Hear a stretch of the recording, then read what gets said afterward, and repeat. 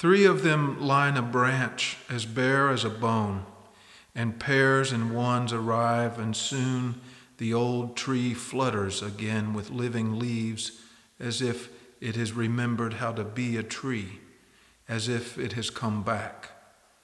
The birds are reddish gray in the light that is dimming down, and a mist of fog is coming up the hollow, and soon the top of the tree will disappear and faintly rustle and return for the night and longer to its dream.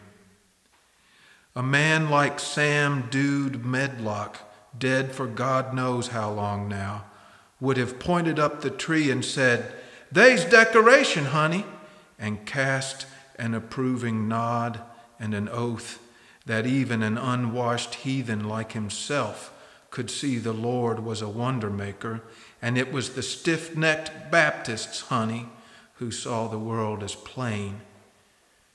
Sam Dude called me honey, and he had riddles and saws to impart, such as a stubble field would tell a lie if the truth was a better story, or one I've repeated for amusement never trust a Pemberton, honey which I've decided must be wise. He always said it gravely, as if he was sorry for the Pembertons, sorry some people can't be trusted. But the thing Sam Dude did was play the banjo, though the name he gave for his instrument was banger. A word like that was decoration to my ears.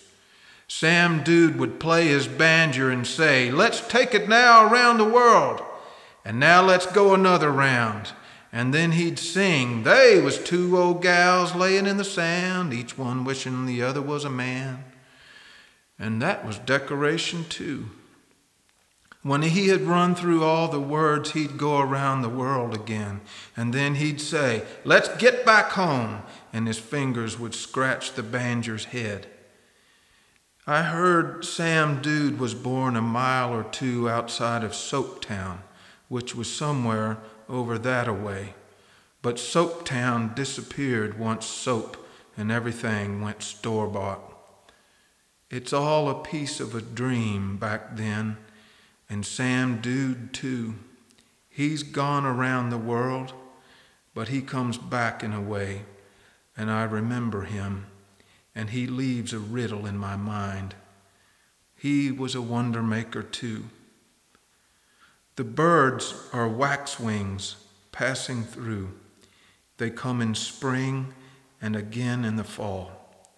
They arrive in threes and pairs and ones to line the naked branches and call the old tree back from its dream.